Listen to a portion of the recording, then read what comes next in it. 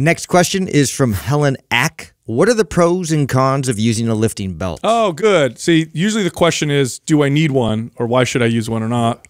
But I like this pros and cons. I do think there are pros and cons to a lifting belt. So the obvious one is, well, if you're going to compete in an event that allows you to use a, a lifting belt, you should train in one because there's a skill and technique to it, and you just want to get good at it. Um, but now let's talk about the pros and cons for the average lifter. One of the cons of lift of using a lifting belt is that it it's a different form of core stability, or uh, to put it differently, it's a different muscle recruitment pattern with core stability with the belt. So when you wear a belt, you've got this external force or, or external thing around your waist. And the way that your core develops uh, or creates stability with a belt is it pushes out against the belt. And then that creates more stability. When you don't wear a belt, it's a little different. So it's, it's a lot of activation of the core in both of them. Because the argument used to be, oh, you wear a belt, you get less core activation. Not true. You get just as much core activation. It's different though. I mean, the argument you can make though, Sal, is it's a lot different. It's- I mean, it- it's it the complete opposite. One of them you're training to push the Basically core out, drawing in and bracing The other one, you're out. yeah, you're teaching to draw, which are different skills. It's different skills. So that would be a con, right? Like, why would you want to get stronger in a way in the gym that you're not going to be able to really apply as much in everyday life? So there's one con. Now I'll give you a pro. The pro is it, it can allow you, because it does provide some more core stability you probably generate on your own, it does allow you to overload some really strong body parts like legs. So, like squats with the belt, you'll be able to add 10, 15, 20. Some people can add 30 more pounds when they know how to use a belt really well. Um, deadlifts, you can use more weight, so now you can overload the back a little bit more. Overhead press, for some people, it allows them to lift 10, 15 more pounds with their shoulders. So there's that argument there. So, you know, that would be, I guess, the two pros and cons. I will say this I almost never had an everyday client use a belt, almost never. But also, full disclosure, I use a belt. I use a belt when I squat and I deadlift. And that's just because I trained that way since I was a kid. Yeah. And I'm too lazy to train out of it. Other than yeah competing. I mean i have pretty much all cons but um in terms of i was trying to think of that in terms of like breathing or like belly breathing if you Mm. didn't have a belt on where it's advantageous to focus on pushing out and bracing in that fashion. I don't know if that correlates which i don't think it does. Like i, I can't think of a real life application without the belt where you're trying to you know promote that type of a mechanism. But um yeah like for the most part i just i think it's good like let's say in, in a situation where you're really uh, pressing yourself to kind of go beyond your your natural limits Yeah. um, to acclimate to a belt and then start to build that type of strength and, and support uh, because it does I mean, here's the thing: when you have really heavy weight, uh, you don't want to have to be conscious of too many things at the same time. You want to kind of have that uh, aid and support when it's it's a competitive environment. So I, I definitely see some benefit to that. well, another, another pro. Uh, when you walk in wearing a belt, you look serious. Yeah. I mean, Especially if your name's on it. yeah, yes, Oh, yes. beast. I That's mean, right. it's yeah, yeah. If you you're have a making nickname statement. or your last name on the back of your belt when you walk in, not many people think that it's your first time in the gym. So there definitely is a little bit of street cred that comes with carrying a Yeah, belt. yeah. Uh, as far as a pro, honestly, I, I'm kind of like Sal. I don't use it as much as Sal does. Um, but I have trained myself to use it, so I do like to pull it out every once in a while. Not very often though. Like I have to be chasing a PR or like really going heavy for the day for me to pull it out and just kind of see where I'm at.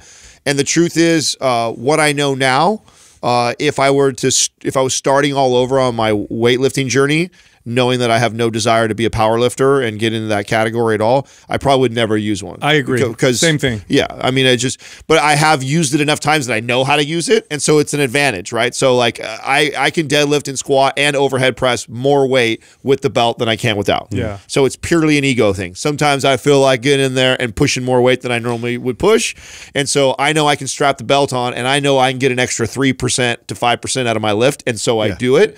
But if I were to train a client or train myself from from the base uh, up again. I wouldn't use it because it doesn't have, to your point, Justin, it doesn't have any real application in the real world. And in fact, if anything, it could crutch you because you're used to pushing out on that. And if you were in real world, bending over to pick the couch up or my son or do something, and I were to try and brace that way, uh, I could potentially hurt myself instead of bracing inward and supporting myself like you're supposed to. Yeah. Now I got to ask you uh, if this is still a thing.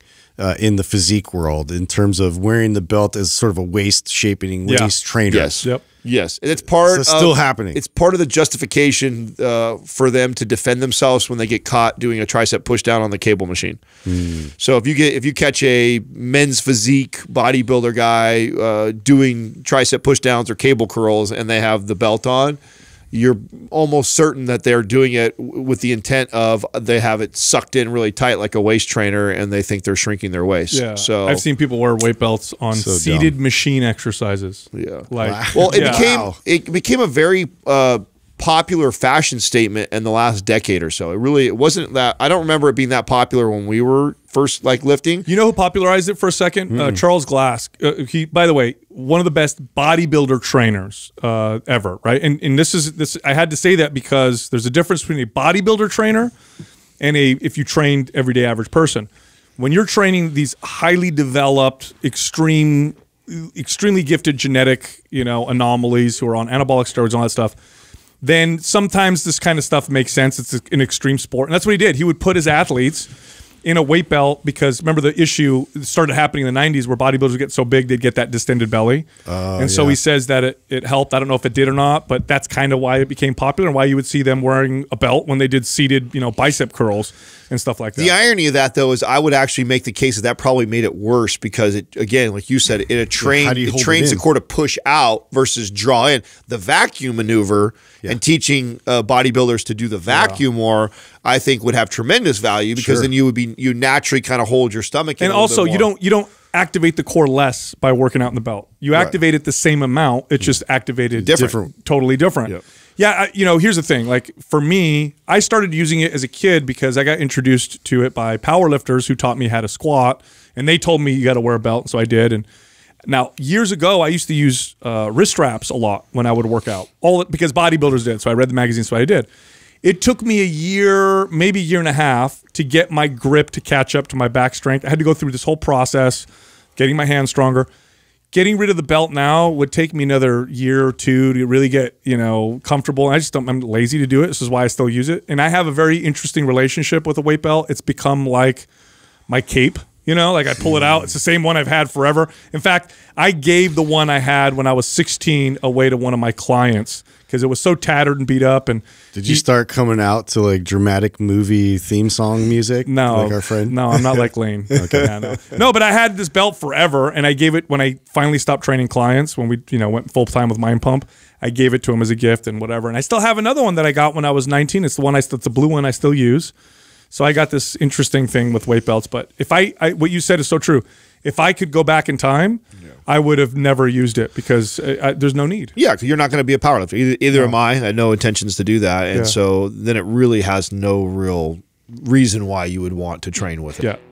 Hey, if you enjoyed that clip, you can find the full episode here, or you can find other clips over here. And be sure to subscribe.